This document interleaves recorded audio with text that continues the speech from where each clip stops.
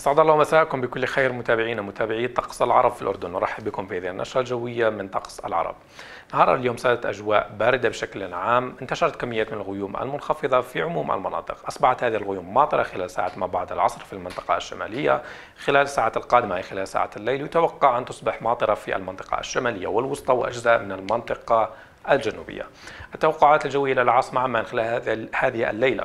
تكون الفرصة مهيئة لزخات من الأمطار. طقس غالبا غائم مع زخات من الأمطار. 8 درجات مئوية كحرارة دنيا.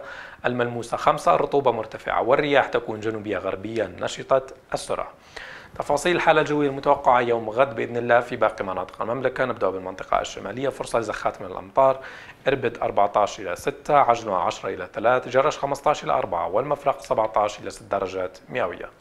بالنسبة للمنطقة الوسطى فرصة لزخات من الأمطار خلال فترة الصباح في العاصمة عمان وعموم المنطقة الوسطى تتراجع شدتها خلال ساعات ما بعد الظهيرة. طقس غائم جزئي يتحول في العاصمة عمان 12 إلى 5 الزرقاء 15 إلى 6 البلقاء 12 إلى 7 ومأدبة 12 إلى 3 والبحر الميت 18 إلى 11 درجة مئوية. المنطقة الجنوبية الجنوبية عفوا طقس غائم جزئي في الكرك 9 إلى 3 الطفيلة 11 إلى 5 الشوبك 9 إلى 4 العقبة 21 إلى 13 ومعان 13 إلى 3 درجات مئوية. المنطقة الشرقية الأزرق 18 إلى 4 الصفاوي 17 إلى 4 ورويشة 16 إلى 5 درجات مئوية.